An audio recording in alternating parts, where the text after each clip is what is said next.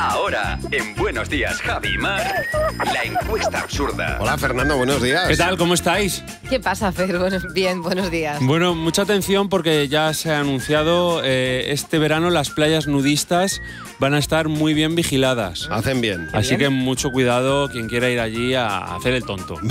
Ahora vamos a ver por qué la encuesta absurda de Cadena 100. ¿Sí? Hola, muy buenos días. Le llamo del Instituto de Estadística Artujal. ¿Con quién hablo? Paco María. Hola María, ¿qué tal? Bien. Si un perro es propenso a sufrir infartos, ten cuidado que muere. No sé, más bien muerde. Si vas a un examen para ser catador de vinos y suspendes, te llevas un cate. Sí, más bien sí. Y bien grande. Un cantante que escribe canciones en el baño con el estómago revuelto es descompositor. Mucho, mucho. Muy descompositor, desde luego. Eh, escuchando algunas canciones hay bastantes des- descompositores, ¿verdad? Y Muchísimas. Y hoy en día más que antes. Una pastelera que es pastelera por vocación y porque se le da fenomenal, ¿tiene aptitudes innatas? Intantísimas. Muy- No puedo hablar. Muy, con mucha nata, con mucha nata.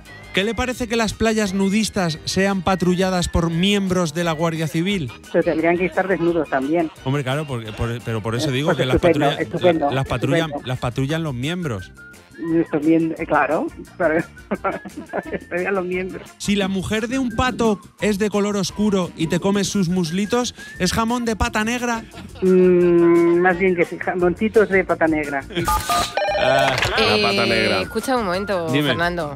¿Qué es eso de meter a la benemérita? Nada, pues que tienen que estar preparados y en esos sitios más. ¿Te has fijado? Ella ha dicho algo de desnudos. No, pues, pues que tengan cuidado, que te dan con la porra y, y ya Me verás. encantan los descompositores. Claro, está el, el compositor y el descompositor. Es, es, eh, ahora mismo la moda, es lo que se lleva, el descompositor. Gracias, Fernando. Que no se te olvide que tu próximo ring Puede ser Fernando Martín.